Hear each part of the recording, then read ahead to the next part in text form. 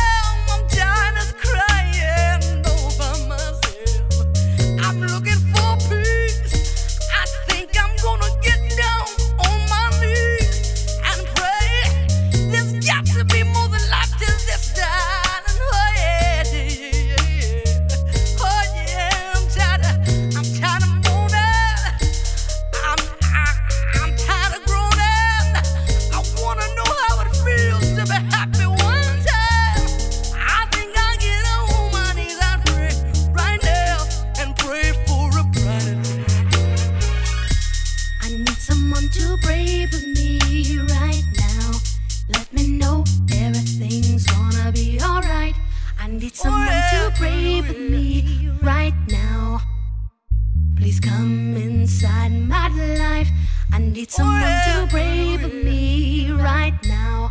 Let me know everything's gonna be alright.